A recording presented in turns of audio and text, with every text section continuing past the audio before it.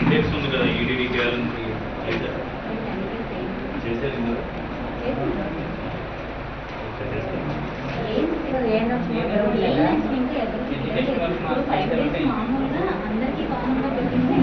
Five days ఈ సచివాలయం government మిగతా వాళ్ళు ఇప్పుడు అవన్నీ తీసి ఈడీడీ చేయాలి సర్వే కంప్లీట్ మీ- దాంట్లో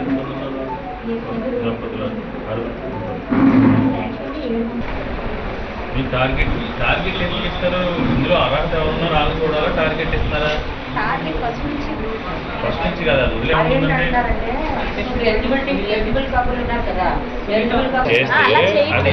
ప్రతిదీ మిస్యూజ్ అవుతూ ఉంటాయి. ఇప్పుడు గతంలో సర్వేలో ఏం చేయొచ్చు.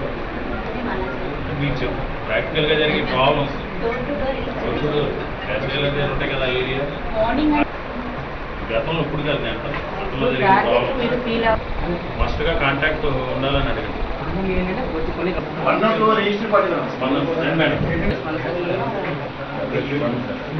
అంటే ఫస్ట్ అనుకున్నది ఏంటంటే యాభై హౌస్లకి ఒక వార్డు వాలంటీర్ అది మీరు ఏం జరుగుతుంది ఎంతమంది కాన్సెప్టే అది రాకముందు అది బయట వార్డు డిస్ప్లే కాదే పుస్తకంలో ఉండాలి నేను అనేది అర్థమైంది దీన్ని ఈజీగా ఎవరు వచ్చినా సరే ఇప్పుడు ఎనీ గవర్నమెంట్ ఆఫీస్ కానీ లేదంటే ఇంకో తెలుసు కదా జగన్మోహన్ రెడ్డి గారు ఏమి ఇచ్చారు ఇన్స్ట్రక్షన్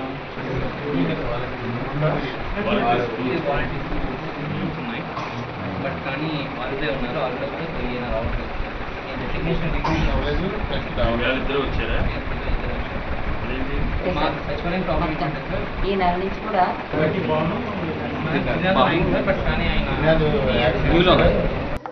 జగన్మోహన్ రెడ్డి గారు ముఖ్యమంత్రిగా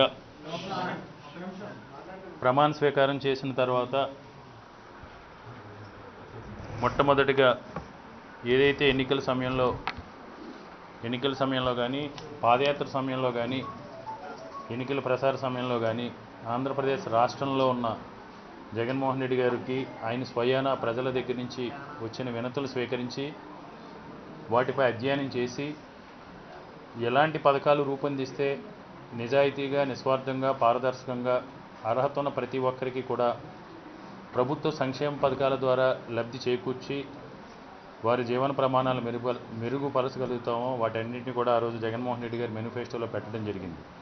దానికి అనుగుణంగా ముఖ్యమంత్రిగా ప్రమాణ స్వీకారం చేసిన మొదటి నాలుగు నెలల కాలంలోనే ఈ రాష్ట్రంలో అర్హత ఉన్న వెనకబడిన వారి అందరికీ కూడా ప్రభుత్వ సంక్షేమ పథకాల ద్వారా ప్రజలకు మేలు చేయాలంటే పరిపాలన వికేంద్రీకరించాల్సిన అవసరం ఉంది అని జగన్మోహన్ రెడ్డి గారు నిర్ణయం తీసుకుని అధికారం చేపట్టిన నాలుగు నెలల కాలంలోనే ఈ రాష్ట్రం మొత్తం కూడా గ్రామాల్లో గ్రామ సచివాలయాలు పట్టణాల్లో వార్డు సచివాలయాలు వార్డు వాలంటీర్ వ్యవస్థ గ్రామ సచివాలయ వ్యవస్థ తీసుకొచ్చి సుమారు నాలుగు లక్షల మంది నిరుద్యోగ యువతకు ఉపాధి కల్పించి ఆ యువత ద్వారా ప్రభుత్వం మేనిఫెస్టోలో ఉన్న ప్రభుత్వం ద్వారా సంక్షేమ పథకాలని ప్రజలకి అతి చేరువుగా ప్రజల ఇంటి వద్దకే పెన్షన్ కార్యక్రమం కానీ అదేవిధంగా అమ్మఒడి పథకం కానీ వాహనమిత్ర కానీ ఆరోగ్యశ్రీ కానీ అన్ని అన్ని అన్ని విషయాల్లోని కూడా పారదర్శకంగా అందించాలనేది జగన్మోహన్ రెడ్డి గారి లక్ష్యం. దానికి అనుగుణంగా ఈరోజు ఈ రాష్ట్రం మొత్తం సచివాలయ వ్యవస్థ తీసుకురావడం సచి ప్రభుత్వ సంక్షేమ పథకాలని జగన్మోహన్ రెడ్డి గారు పారదర్శకంగా అందజేయడం జరిగింది. ఈరోజు చూస్తా ఉన్నాం రాష్ట్రంలో. మార్చి ఒకటో తారీఖు రెండు వేల ఇరవై సంవత్సరం. ఇది ఆంధ్రప్రదేశ్ చరిత్రలో భారతదేశ చరిత్రలో ఇది ఒక సువర్ణ అధ్యాయం. ఎందుచేతంటే వృద్ధులు ఎవరైతే ఉన్నారో చాలామంది వరకు పిల్లల నుంచి ఆదరణ నోచుకొని వృద్ధులు వారి జీవితం చివరి రోజుల్లో ఆనందంగా గడపాలి మందులకు కానీ తిండికి కానీ ఎవరి మీద ఆధారపడకూడదు అనే ఉద్దేశంతో జగన్మోహన్ రెడ్డి గారు ముఖ్యమంత్రిగా ప్రమాణ స్వీకారం చేసిన తర్వాత మొట్టమొదటి సంతకం వృద్ధాప్య పెన్షన్లపై పెట్టడం జరిగింది. దానికి అనుగుణంగా ఈరోజు మార్చి ఒకటో తారీఖు నుంచి సాయంత్రం నాలుగు గంటలకల్లా ఎనభై ఐదు శాతానికి పైగా ఎవరైతే అర్హులు ఉన్నారో వారి ఇంటి వద్దకు పెన్షన్ అందించడంతో పాటు అన్ని కార్యక్రమాలను కూడా ఇదే విధంగా భవిష్యత్తులో చేయాలని జగన్మోహన్ రెడ్డి గారు దృఢ సంకల్పంతో ఉన్నారు దానికి కావాల్సింది జగన్మోహన్ రెడ్డి గారు ఏ సంకల్పంతో అయితే ఈ వ్యవస్థను తీసుకొచ్చారో ఆ వ్యవస్థలో ఉన్న వాలంటీర్లు కానీ వాడి సచివాలయ ఎంప్లాయీస్ కానీ మీరందరూ కూడా చిత్తశుద్ధితో మీకు ఎందుకంటే జగన్మోహన్ రెడ్డి గారికి మంచి అవకాశం మీ అందరికీ ఇవ్వడం జరిగింది. మీరు జీతం తీసుకుని లేకపోతే ఒక ఉద్యోగం చేస్తూ ప్రజాసేవ చేసుకునే అవకాశాన్ని జగన్మోహన్ రెడ్డి గారు ఈరోజు మీకు కల్పించడం జరిగింది.